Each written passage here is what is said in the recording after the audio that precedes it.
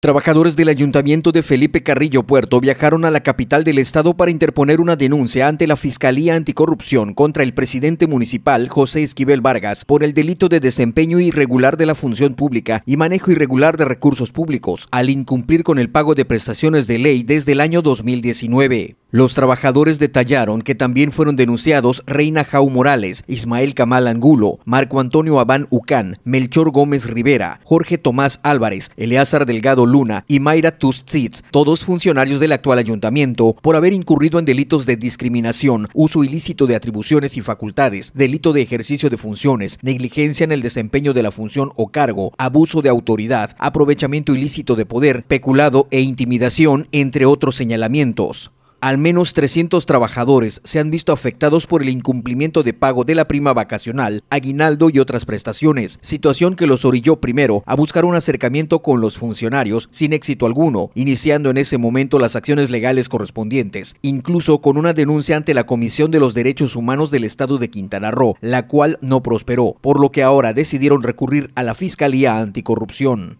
Finalmente advirtieron que, de no tener respuesta, tomarán otras medidas, entre estas la realización de manifestaciones, tanto en la cabecera municipal como en la sede de la Fiscalía Especializada en Combate a la Corrupción en la ciudad de Chetumal.